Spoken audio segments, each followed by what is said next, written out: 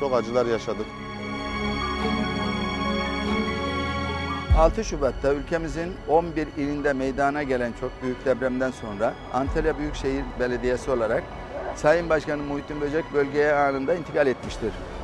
Bu bölgede afetlere ziyareti esnasında yakınını kaybeden, evi yıkılan Davut Bey kendisinden bir talepte bulunmuş olup bugün itibariyle de Muhittin Başkanımız kendisine verdiği sözü yerine getirmiş ve konteyneri Osmaniye'deki gösterilen araziye kurmuştur.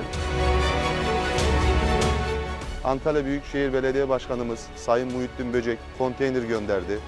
Bizi açıkta bırakmadı. Çok çok teşekkür ederim. Allah razı olsun hepsinden.